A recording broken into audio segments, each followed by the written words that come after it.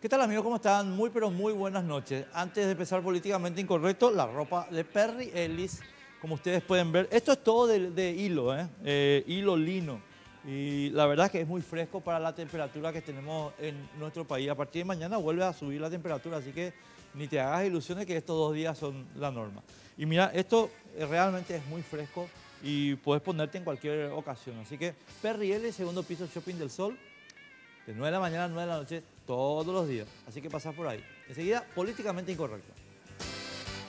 Políticamente incorrecto es presentado por Tigo. En Tigo, el centro sus voz. Banco Familiar, abierto a vos hace 50 años. Jack T6 Frison, la primera picat paraguaya. Grupo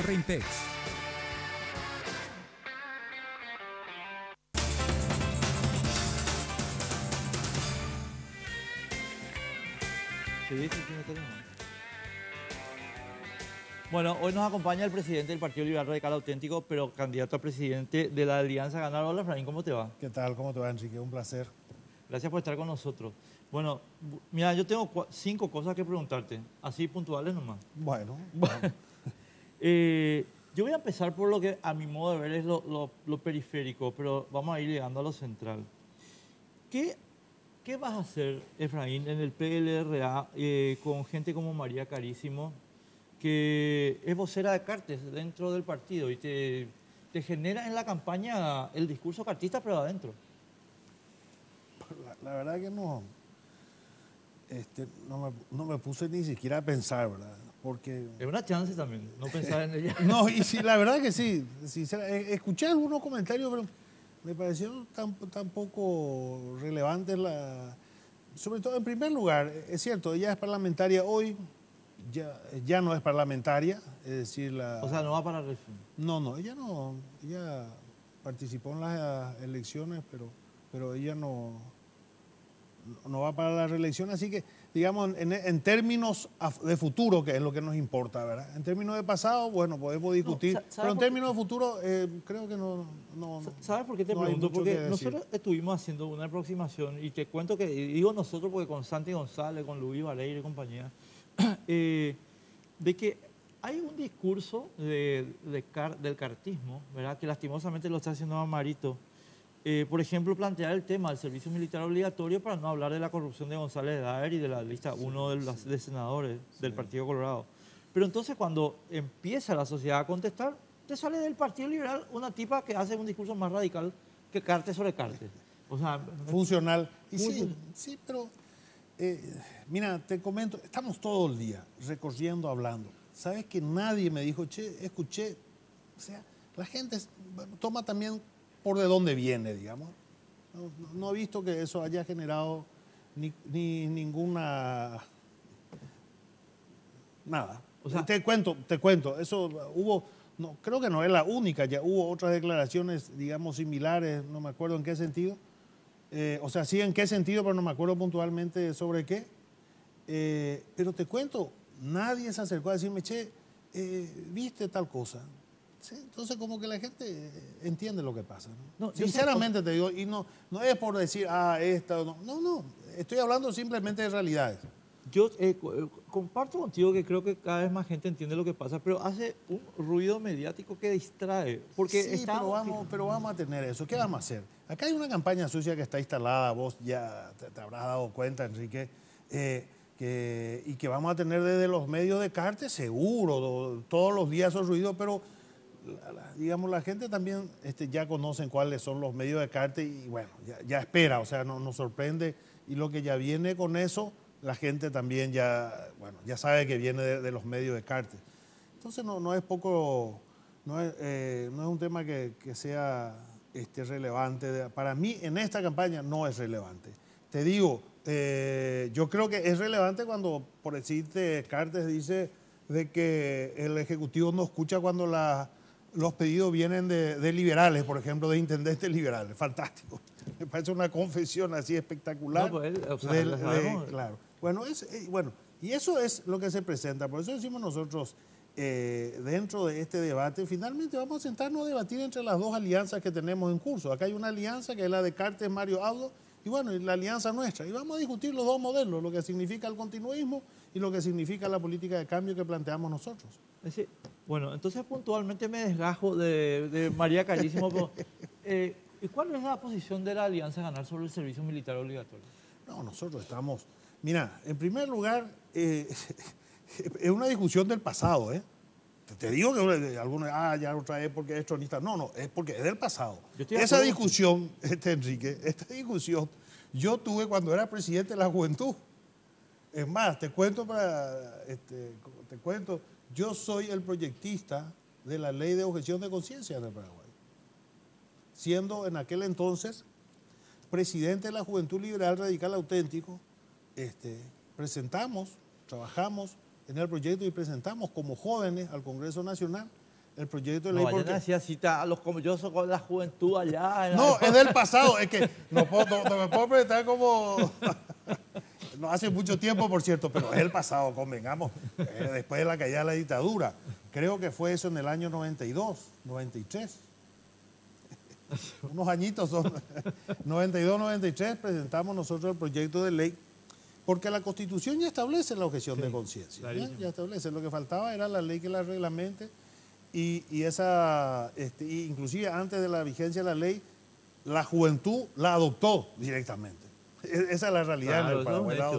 El Congreso habilitó una oficina donde se presentaban los objetores, se le da una, este, una un carnet, ¿verdad? Un pequeño certificado para, este, para que no puedan sufrir las viejas prácticas estronistas que era ir a tomarle a la gente en la fiesta o en acuerdo ahí y llevarle al cuartel. Entonces tenían su, porque era así en ese tiempo, muchos no sabrán, ¿verdad? Y sobre todo los jóvenes, pero era así. Bueno, entonces por eso es una discusión del pasado, está resuelto. Nosotros, yo te pregunto, Enrique, vamos a ser serios. En primer lugar, este, ahora nos quieren decir que los jóvenes, nuestros jóvenes, nuestros hijos van a ser educados por los militares. Pero por favor, yo creo que los militares este, y el servicio militar tiene un propósito, un objetivo. Es, este, es una fuerza militar que se prepara y se forma para la guerra. Que no me vayan a venir a decir ahora que los militares le van a educar a nuestros hijos. No, le van a enseñar para la guerra, para la reserva. Si el Paraguay tiene una... Esa es la tarea de las Fuerzas Armadas. No vamos a mezclarlos tanto. Hay que estar bastante extraviados para plantear que la educación ahora la vamos a trasladar a los cuarteles. No, por favor. En primer lugar, la educación en las escuelas y vamos a forjar el carácter de nuestros jóvenes este, con educación, en la familia, nuestra, en nuestra casa, con el deporte. Vamos a invertir en el deporte, que mucho hace falta, Enrique Vargas Peña. ¿Cómo voy a, invertir este, en formar en, los cuarteles a nuestros hijos para que tengan educación y para que se puedan levantar de mañana temprano? Para levantar temprano le vamos a, vamos a distribuir.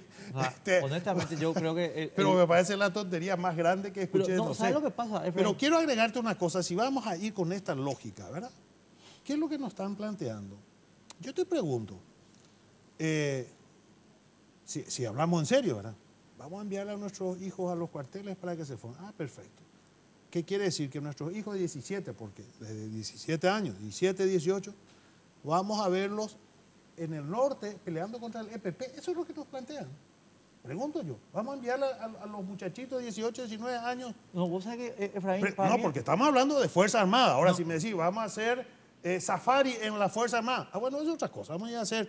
Ahora, Fuerzas Armadas me estás hablando. Por favor, nosotros decimos claramente, Enrique Vargas Peña, fuerza, nuestra Fuerza Armada, tenemos que hacer unas fuerzas que recuperen la dignidad de nuestras Fuerzas Armadas, una fuerza pequeña, adecuada al tiempo de hoy, lo que demanda hoy nuestro país, profesional, profesional. Vamos a convocar, lo vamos a formar y le vamos a pagar para que defiendan nuestra soberanía. Esa es la Fuerza Armada de la que nosotros hablamos. Pequeña, pero moderna, eficiente y con profesionales, no con niños que se van para este, aprender a levantarse temprano, como dice el amigo Mario El amigo Mario yo no sé. pero ¿sabe por, qué, ¿sabe por qué termino con esto el, tema militar? Lo que pasa es que esto también traduce una mentalidad, Efraín, la mentalidad de que el país es un cuartel.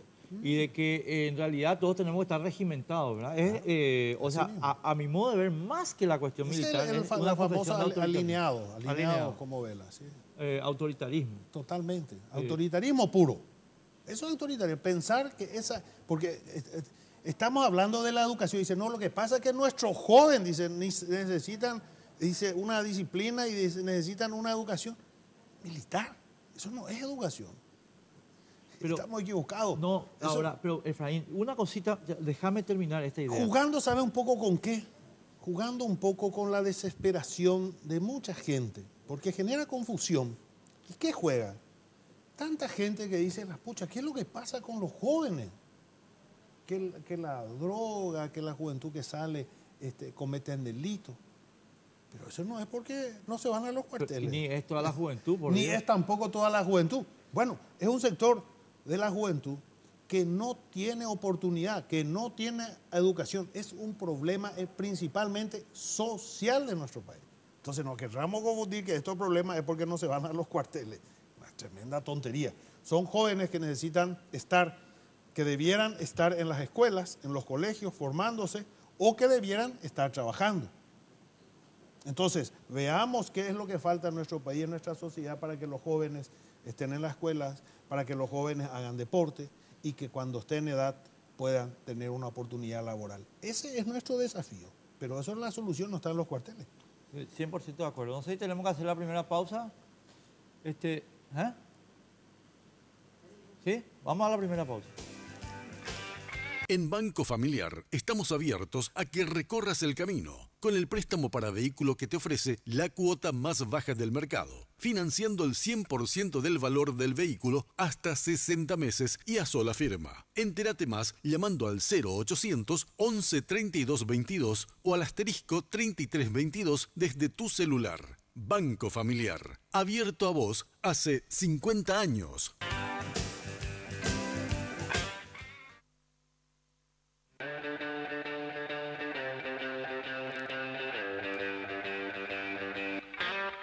Jack T6 Frison, la primera pickup paraguaya. Jack T6, diseño, potencia y bajo consumo de combustible.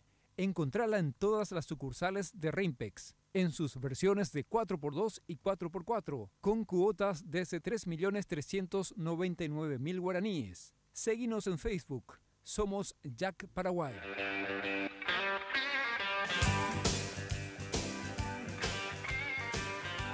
Efraín está quejándose porque no le trajimos cucharita. Eso es grave. Este, después cuando esté en el Palacio de López, cuidadito de cobrar. bueno, Efraín, viene una segunda cuestión también planteada estos últimos días. Eh, resulta que Cartes, y vos me vas a perdonar a mí, pero vos sabés que para mí Cartes es eh, un problema a ser superado. Entonces, Para, vos- eh, para- vos- para el Paraguay, no para no, vos no, ya sé. Pero te digo nomás. Bueno, vos sabés que Cartes hizo una composición del lugar electoral eh, para la interna del Partido Colorado, que por suerte le fue muy mal, ¿verdad? Pero eh, donde usó la, cuestión religiosa sobre el tema familia. Y ahora volvemos a escuchar lastimosamente en Marito el, el discurso de Cartes, ¿verdad? Es decir, voy a vetar todas las leyes que atenten contra la familia y compañía. Eh, yo supongo que él está hablando de todo ese discurso del pastor Abreu y, como, no sé, de, de- de las uniones, de, eh, ¿cómo se llama? De la unión igualitaria, qué sé yo. ¿Cuál es la posición de la alianza ganar sobre el tema? Sobre, la verdad que no hay una posición de alianza ganar. Te voy a dar mi posición como candidato. Sí, ¿verdad? En todo caso. Eh, que ya fue bastante tergiversado, por cierto. por cierto, sí, ¿eh? también. Pues yo me dijeron, ¿usted qué piensa del matrimonio? Yo le dije, yo creo en el matrimonio del hombre y la mujer. Matrimonio, que es lo que también dice nuestra constitución. Y dije, pero creo además que se debe tener una respuesta a un problema civil de las relaciones en, en algunos aspectos, como el caso patrimonial, dije.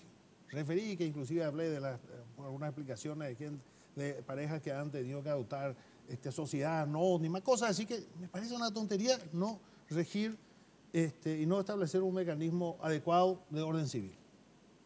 Alguien ya salió, Efraín está eh, con el matrimonio igualitario.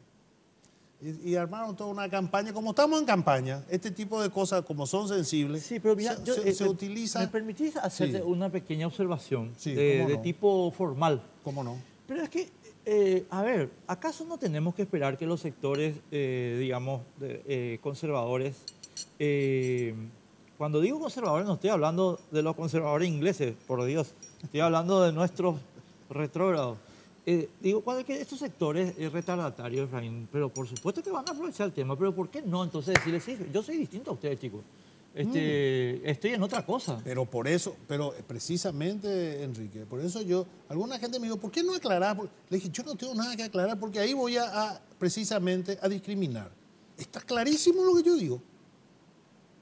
Clarísimo está. No Pero hay ninguna duda. Pero planteado como, como bien. diferencial. Pero como, claro que sí, es lo que nos diferencia. Nosotros somos, como le dije, hay gente que viene y te plantea, le dije, mire, yo soy católico, soy cristiano.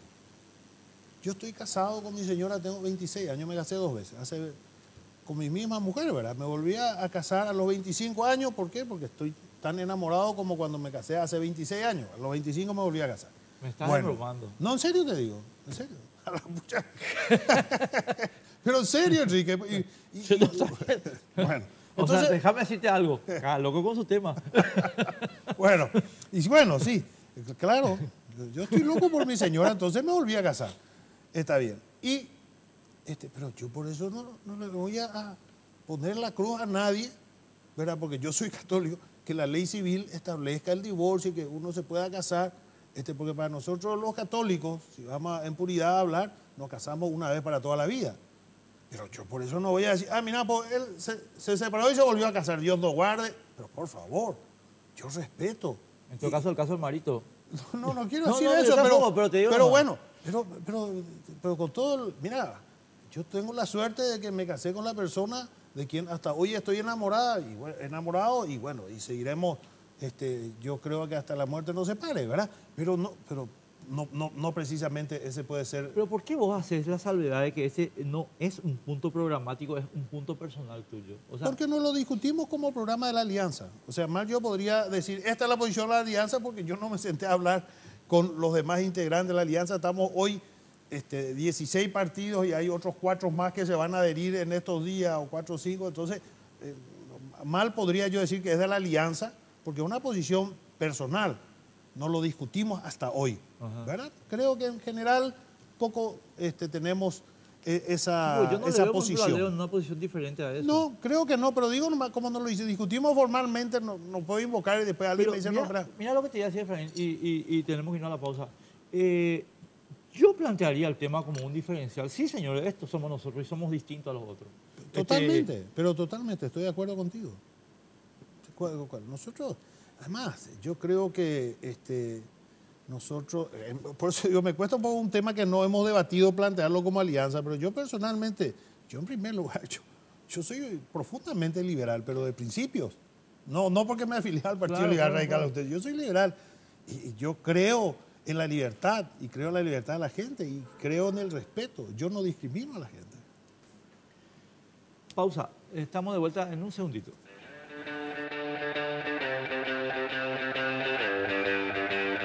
Se viene el torneo local más importante de todos y con él Tigo te trae una promo que no podés dejar pasar. Contrata tu plan de TV familiar por 99 mil guaraníes durante tres meses. Llámanos al asterisco 611 o al 021-618-9900 y disfruta de toda la pasión del fútbol por las señales de Tigo Sport, porque en Tigo el centro sos vos.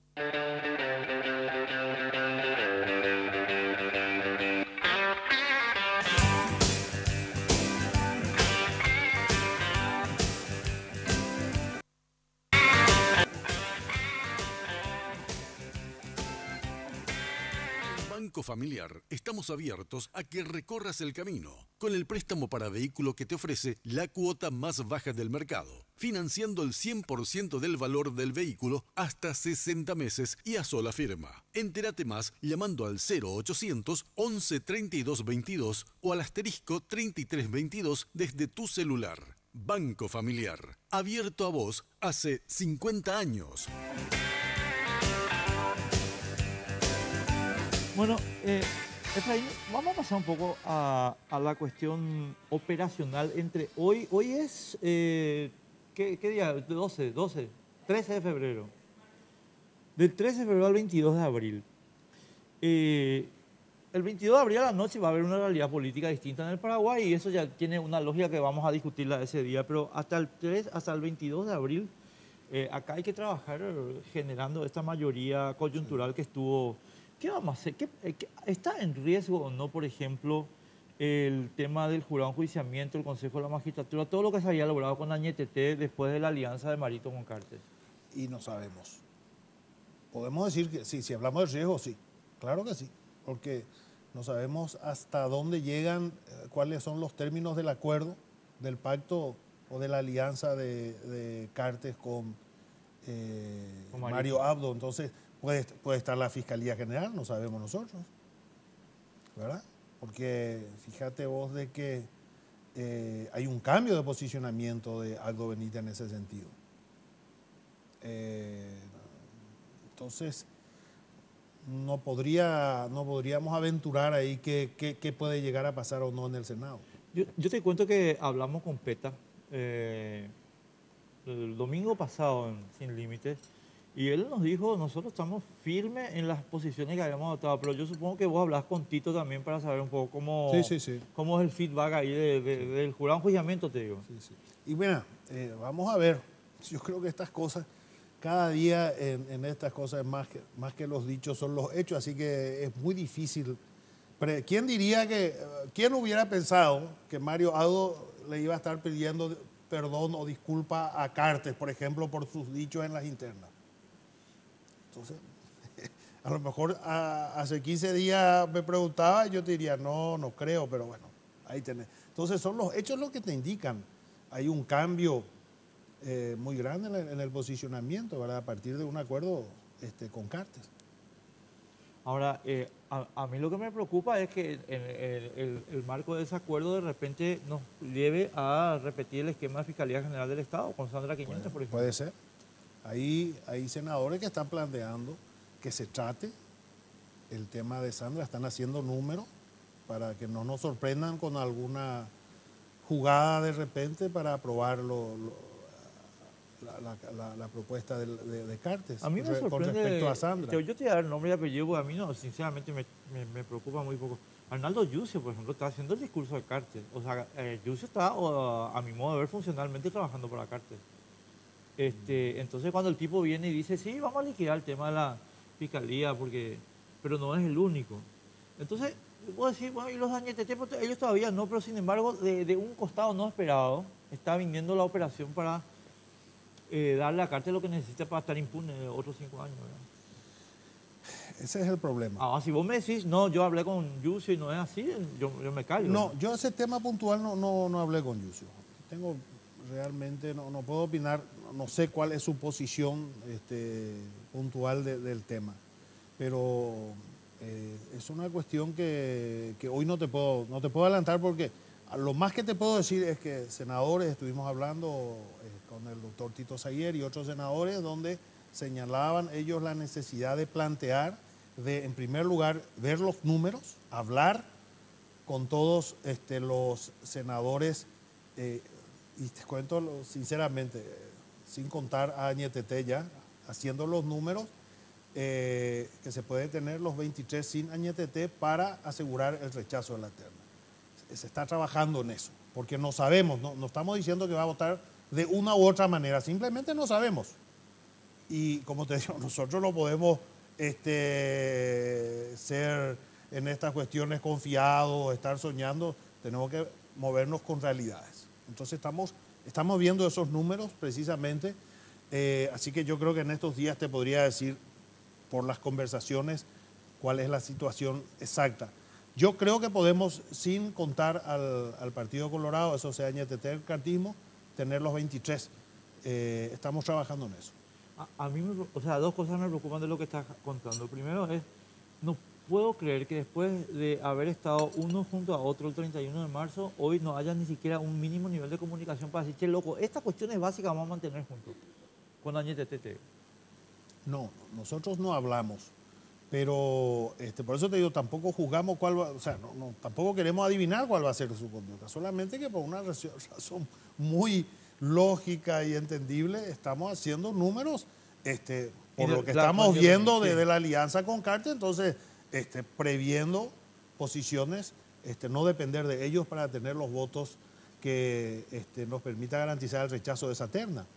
Claro, porque ahí viene, Efraín, una cuestión, eh, imagina, vamos a suponer que ocurra la desgracia, son cinco años de impunidad Por garantizada. eso, O sea, claro. Sandra Quiñones es- Por eso digo, por eso es que no podemos pues, estar nosotros dormidos y decir, no, van a... Yo, yo ya no estoy en condiciones de decir que van a mantener la línea. Si, si nos mantuvieron en un tema central, ¿verdad? Que era este, precisamente la diferencia con Cartes, y hoy están juntos, ¿por qué no pueden cambiar los otros? Digo yo. Entonces, pueden o no pueden, lo que pasa es que nosotros no podemos depender del humor de ellos, entonces estamos trabajando poco con todos los sectores democráticos para construir esos 23 votos que creo tenemos, sin contar los votos de Añetete. Y eh, en esos votos, en esos 23 votos, vos estás incluyendo a antiguos operadores de cartas como Blas Llano y compañía. Yo creo este, que nosotros podemos pensar en una bancada liberal íntegramente en una sola posición, unida, y, y los demás sectores democráticos. Sí, estamos pensando sobre esos números. No, yo nomás que no pongo la mano en el fuego por Blas. Yo no te pido que lo haga. Estamos trabajando sobre eso. o sea, con todo respeto, yo le quiero Sí, mucho está. a Blas Llano en lo personal, pero este, Estamos trabajando sobre eso. Yo creo que lo podemos conseguir. yo creo en la redención. O sea, yo que te quedo, o sea, le digo siempre a Blas Llano, yo creo en la redención, Blas, siempre, siempre. O sea, yo creo que... Yo creo que podemos ponernos de acuerdo los 13 senadores liberales eh, y bueno, y, y los demás sectores democráticos. No sé nomás si Ahí no, nos iríamos 24 más o menos. Ajá, ajá, Pero Zulma Gómez, no, yo creo que su jefe es José Ortiz, ¿verdad? Así que, con todo respeto, o sea, no. Vamos, vamos, a- tener que contar los votos, Enrique, ya te dije, no, acá no son los dichos, los hechos. No, ya sé, pero ¿sabes lo que pasa? Que eso es lo que a mi modo Lo de que ver- nosotros no podemos es dejar de hacer lo que nos corresponde, ¿verdad? Nuestra obligación de trabajar en la construcción de la mayoría que nos garantice, ¿verdad? O que busque, cuanto menos, eh, impedir la designación de un este, fiscal general del Estado por parte de Cartes. Ahora, hay, Ef- Efraín, una cosita más sobre el punto y después nos, vamos a traer la pausa. Eh, pero vamos a poner el peor escenario. Vamos a suponer que, se le- que ellos logran imponerle a Sandra Quiñones. Eh, ahí vamos a tener un esquema complicado eh, porque, y supongamos que vos ganás las elecciones del 22 de abril, en el sentido de que yo no sé si vas a poder tocar las cosas por las cuales Cartes se tiene que ir a la cárcel.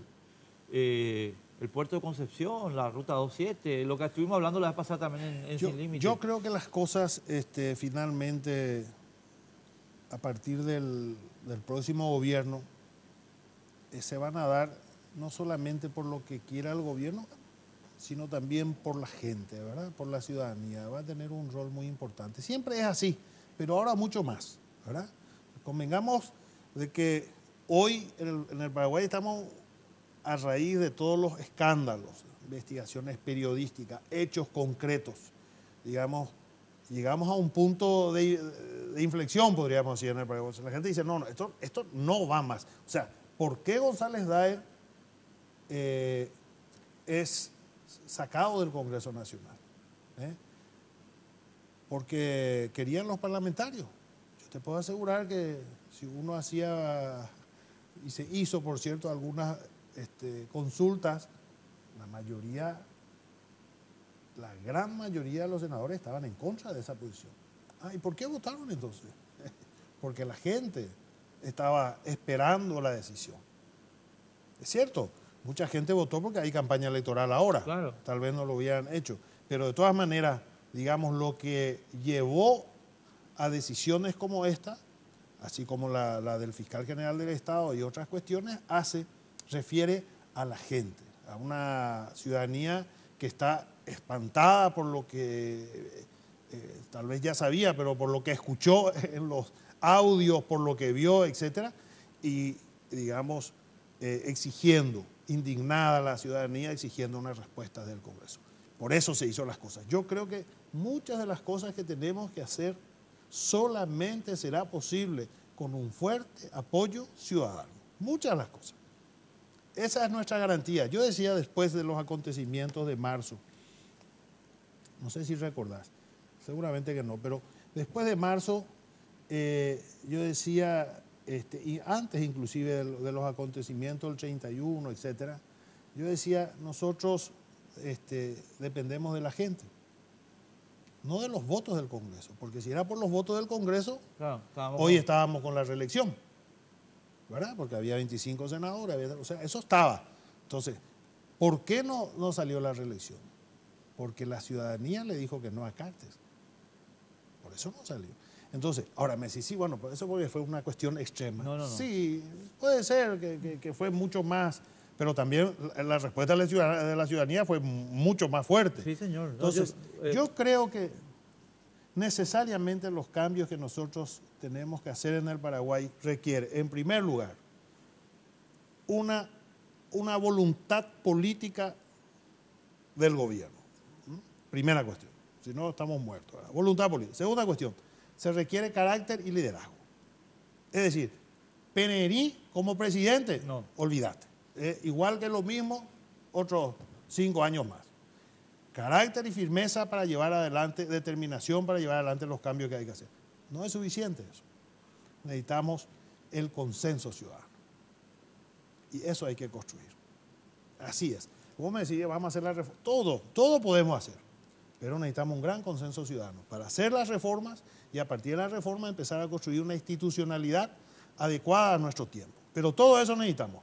Alguien me dijo, no, acá lo que se necesita es liderazgo y carácter. Un presidente que venga y que quiera hacer las cosas y que se tenga la fuerza para hacer. Sí, es una condición, pero no es suficiente. Porque va a tener un congreso. Espero que tengamos un congreso y es muy, mira, te digo más, es altamente probable que tengamos un congreso este, mayoritario a favor del gobierno.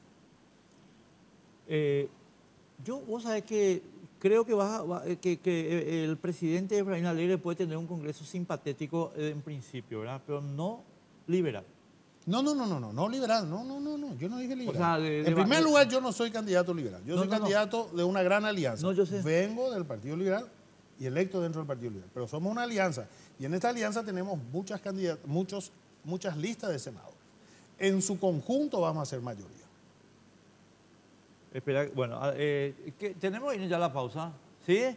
Pero que yo tengo dos, bueno, está bien, vamos a la pausa.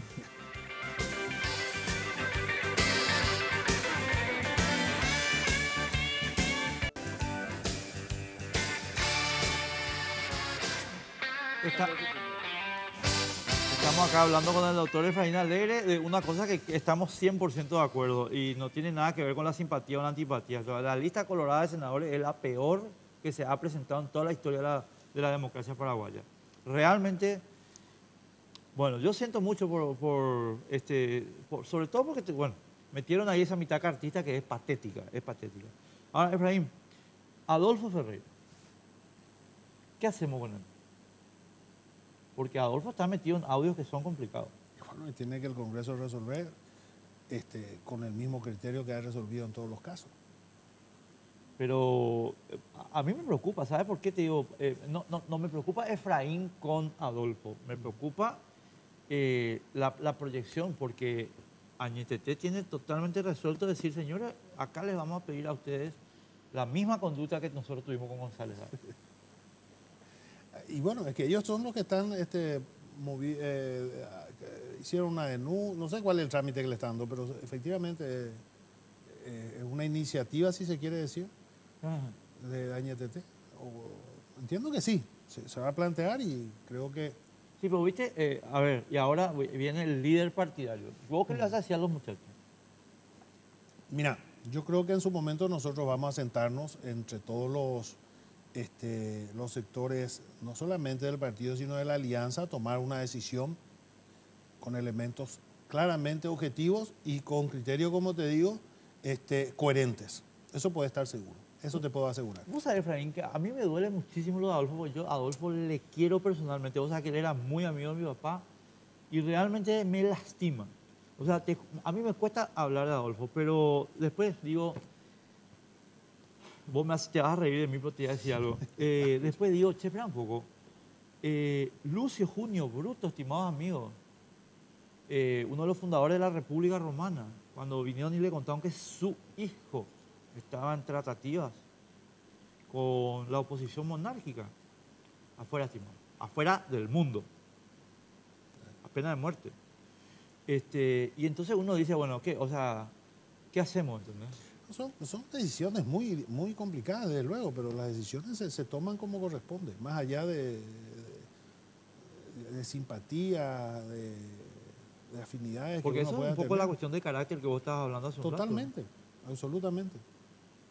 Bueno, último tema. Este, Efraín, yo tengo un poquito de miedo de que el Frente Guazú esté como que secuestrando la agenda de la Alianza Ganar. Y yo no tengo absolutamente nada que objetar a, a los intereses que eventualmente tiene el Leo con, con, con, algunas, con algunos grupos minoritarios, que, sé que, todo bien, ¿verdad? Lo que pasa es que eso no es lo principal. Eh, No, yo no sé a qué te referís. Nuestra, nuestra agenda es muy clara. Nuestra agenda es, este, en primer lugar, es la justicia, poder judicial. Si vos me decís cuáles son los cinco o seis puntos principales, te lo digo directamente cuáles son.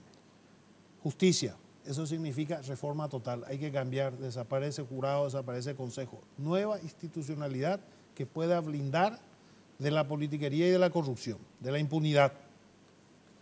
Eh, el tema empleo en sus varias facetas, ¿verdad? Empleo, si le querés llamar empleo, si le querés llamar pobreza, es prácticamente estamos hablando de la misma cosa, porque de la pobreza se sale básicamente con empleo, puede tener algunas medidas, digamos, este, extraordinarias en, si- en situaciones extremas, pero de la pobreza se sale con empleo. Entonces ahí estamos hablando lo que es el problema del pequeño productor, de la agricultura familiar campesina, y estamos hablando de este, una política energética que cambie el modelo de 70 años. Nosotros decimos la energía, ¿eh? y eso, para que te quede claro, lo planteamos nosotros en las internas del Partido Liberal. Entonces, agenda que nosotros venimos desarrollando hace tiempo, donde decimos, el primer decreto va a ser decirle a la Argentina, nosotros vamos a usar nuestra energía. Vamos a usar para nuestro desarrollo. Vamos a usar para, este, para que nuestros compatriotas tengan una energía este, a precio justo, porque hoy la energía es un derecho humano fundamental, ya no es, este, digamos, un lujo como fue hace 40 años. Hoy es, no se puede hablar de salud, no se puede hablar de educación si no tenés energía. Eso es lo básico. Entonces, nuestra agenda, te decía, es eh, justicia, es pobreza, ¿verdad? En sus, en- La en pobreza en su- es feo, sí. claro, es este, seguridad, ¿m? seguridad en sus tres este, aspectos que, tiene, eh, que tenemos en el país. En primer lugar, el EPP, ¿verdad? Una fuerza de tarea conjunta este, que tenga, esté equipado modernamente, que tenga una misión, que tenga una, este, que tenga inteligencia, ¿verdad? Y que tenga capacidad operativa. Nada de eso tiene hoy. Nada de eso tiene hoy. Y lo demostró aquel vi- video donde cuatro horas al costado de la ruta no pudieron hacer nada. Ni por tierra, ni por aire, nada. Es decir, no existe. Entonces, ese es un problema de seguridad, es uno de los problemas del EPP que decimos claramente también debería acompañado de uniformes blancos, es decir, política de educación, política de salud y de desarrollo, es decir, generar empleo en la zona, porque ahí realmente la pobreza extrema es causante de que este grupo este, de criminales tengan simpatías y apoyos en la población, porque esa es una triste realidad, pero es realidad. Eh, esa es una parte de nuestro problema de seguridad. El otro aspecto es la que sufrimos todos los días en las calles. Claro, el- que nuestros hijos, que le pueden asaltar, el motochorro, el que te roba el auto, no se salva nadie de esto. Y el tercer tema es el crimen organizado, que tal vez sea el, el- el problema más grave de Para todos. mí el problema más grave. Más grave de todos, porque ahí estamos hablando de, de- de- de justamente las organizaciones criminales, Estás hablando de los que llevan el cigarrillo Horacio al Brasil. el cigarrillo y otras cosas más. Solamente el cigarrillo, el que controlan todos los negocios de frontera, ¿verdad? Que es el Comando Capital. Y que es inmensamente más fuerte y superior que nuestras fuerzas de seguridad de hoy. Esa es la realidad. Me decía un embajador de una nación importante de nuestro país, cuando hablábamos de Ciudad del Este me decía, eso mismo puede pasar en Asunción. Y no hay ninguna capacidad de respuesta. Pueden tomar Asunción como tomaron Ciudad del Este y hoy las fuerzas de seguridad no tienen una capacidad de respuesta a ese escenario. Entonces, esa, esa situación no lo vamos a resolver solo. ¿eh? Los otros dos podemos resolver solo. El EPP yo creo que lo podemos resolver nosotros con alguna asistencia, algunos países que tienen más experiencia, pero lo podemos hacer solos. ¿verdad? Eh, la seguridad ciudadana también. Es cuestión de una política que esté vinculada a modernizar los mecanismos de seguridad y las fuerzas operativas, etc. Pero el crimen organizado tenemos que hacer un acuerdo con países, con países vecinos, en primer lugar con Brasil. si nosotros no tenemos un acuerdo de frontera, de trabajo conjunto, operativo con el Brasil, que, no, es, no lo estamos inventando nosotros tampoco, ¿eh? es lo que hace Brasil con Colombia, por ejemplo, eh, simplemente. En fin, eh, eso sí lo tenemos que hacer en acuerdos y cooperación con otros países porque es un problema grave y grande, grande, y, es un sector muy poderoso, muy fuerte. Entonces, ese es el tercer tema, ¿verdad? Salud y educación. Efraín, doc, nuestra agenda. Nos queda, espera, ¿cuánto nos queda? Un minuto, mamá querida. Bueno, eh, vamos a dejar la FTC. La FTC es inconstitucional, Efraín. Mira, yo, es un tema que no quiero entrar, no quiero distraer la atención en ese debate. Te digo con mucha sinceridad. No quiero distraer la atención en ese debate. Lo que sí te voy a decir es fuerzas de seguridad este, modernas, con inteligencia, con una misión, con, una, eh, con capacidad operativa suficiente en cantidad. También hay que instalarse lo que sea necesario, ¿verdad? Para resolver el problema. Con liderazgo y con firmeza. Ahora, puede ser fuerza conjunta, puede ser no, no importa.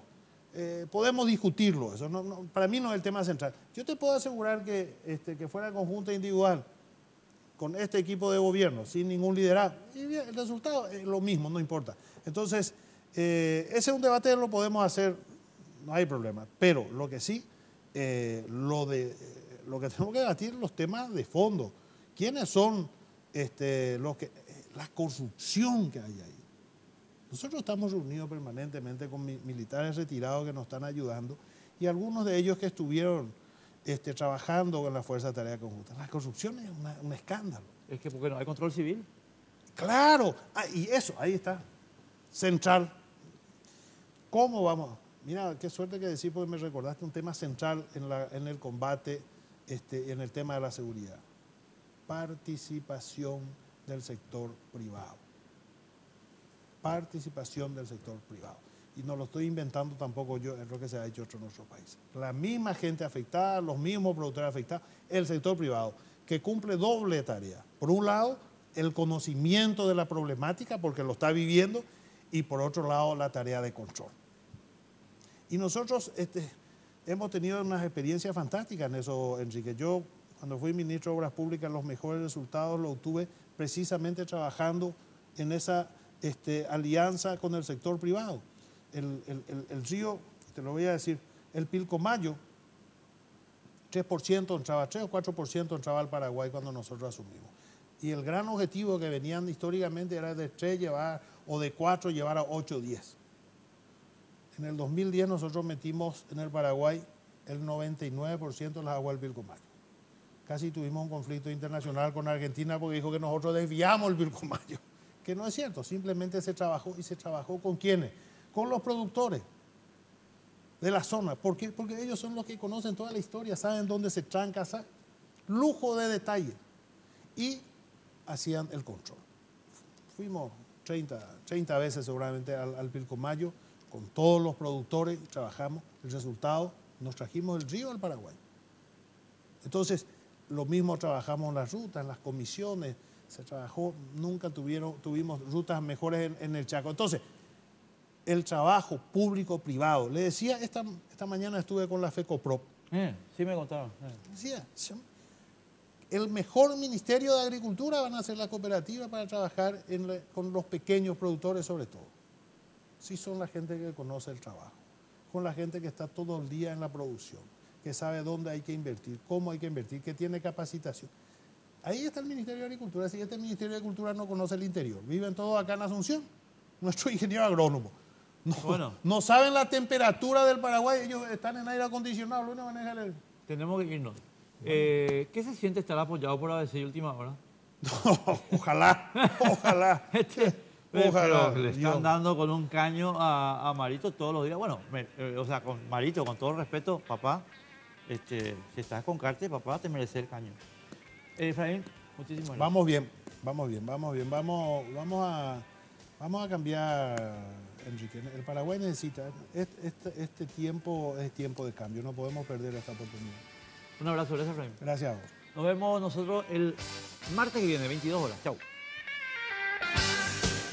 Políticamente Incorrecto fue presentado por Tigo, en Tigo el centro sos vos. Banco Familiar, abierto a vos hace 50 años. Jack T6 Frison, la primera picat paraguaya. Grupo Reinpex.